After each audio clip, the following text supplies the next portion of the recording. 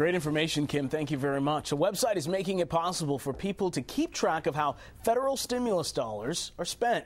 In tonight's Project Economy report, why some say the site doesn't show the full story. News 4's Myra Ruiz is here with more. Myra. Nigel, the site recover.recovery.org shows who received stimulus dollars and whether any new jobs were created.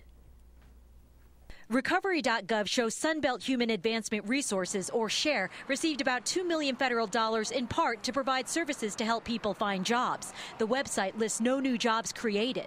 We've got at least about 90 people that we've currently enrolled in school at Greenville Tech, and there's about 30 that we've placed in jobs. Program manager Bernard Smith says the site also doesn't show that the money's scheduled to run out at the end of September, cutting about 17 SHARE jobs and therefore some services to those in need there will be some people we know that's going to be hurt because the funds are no longer available.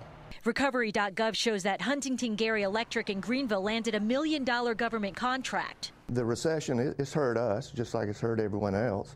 Company president Jimmy Von Hollen says the work didn't create any new jobs and it was old private sector ties that helped land the job. Fortunately, we had uh, we have done some work in the past for the Eaton Corporation on other projects, so they chose us to to work as the electrical subcontractor.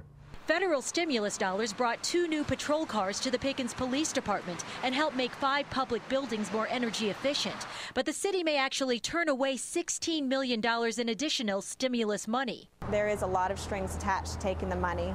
City Manager Catherine Brackett says the government would require Pickens to borrow $10 million before receiving the other six.